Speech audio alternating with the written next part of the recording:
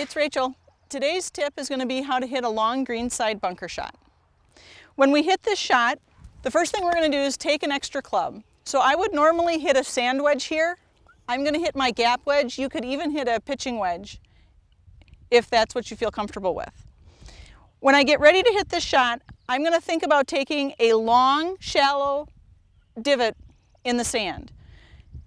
The divot's going to be seven to eight inches in, in length and we want to strike the sand three to four inches behind the ball and then follow through three to four inches past the ball. I'm going to stand with a slightly open stance, slightly open my club face, and then I'm just going to take that nice simple swing and think about taking a nice long shallow divot.